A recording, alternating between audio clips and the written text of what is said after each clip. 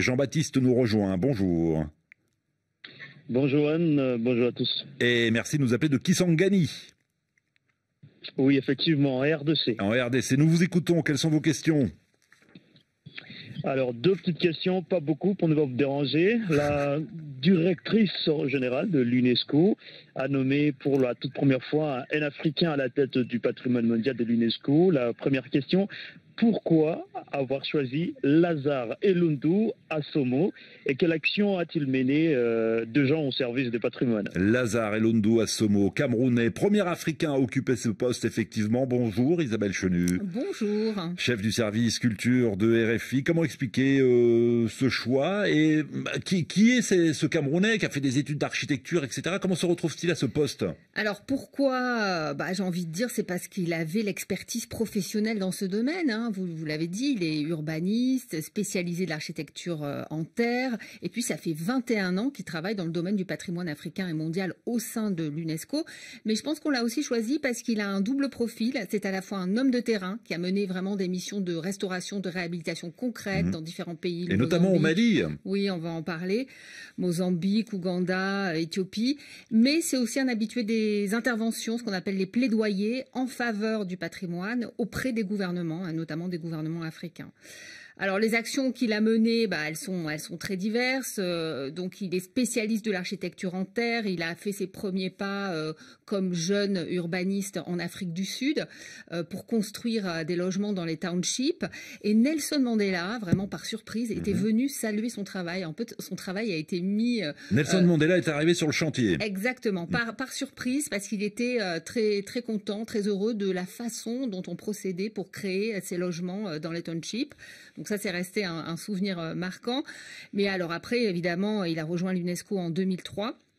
Il a coordonné de nombreux projets de restauration patrimoniaux, notamment au Mozambique. Il a réhabilité la forteresse de San Sébastien. C'est vraiment le monument le plus emblématique de l'île de Mozambique. C'est une forteresse qui a été construite, construite au XVIe siècle par la puissance coloniale portugaise et qui témoigne de tout un pan de, d'histoire, euh, de commerce euh, sur la voie maritime de l'Inde.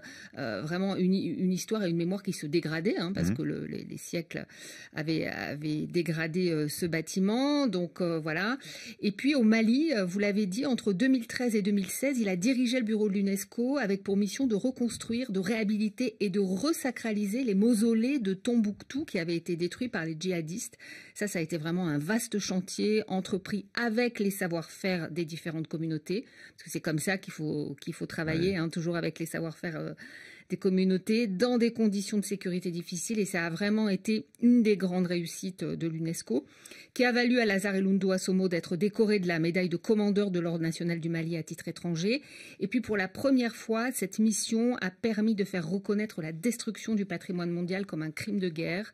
Il y a eu euh, la mission de maintien de la paix au Mali qui a eu pour mandat de protéger la culture. Il y a eu le premier procès international devant la Cour pénale internationale pour destruction de biens culturels. Donc c'était vraiment euh, une mission, euh, voilà, une victoire. Oui. Erdazar Elundu Asomo, nommé donc à la tête du patrimoine mondial de l'UNESCO. Vous avez une dernière question, Jean-Baptiste?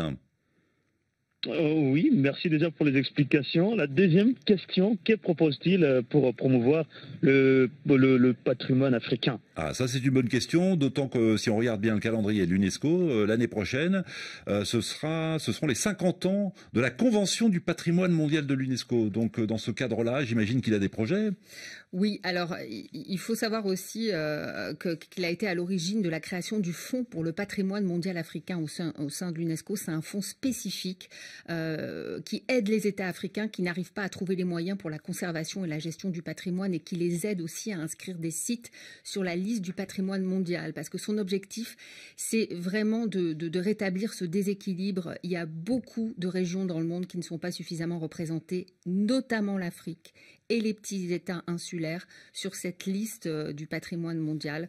Donc euh, voilà, il y a toute une série de réunions pour convaincre les gouvernements euh, mm. de, voilà, parce qu'il y a beaucoup de choses. C'est pas uniquement des monuments, hein, le patrimoine, c'est aussi des paysages sacrés, des lieux de rituels où les communautés viennent se recueillir, des lieux qui possèdent de l'art rupestre, des sites archéologiques. Et donc voilà, il faut valoriser, valoriser tout ça.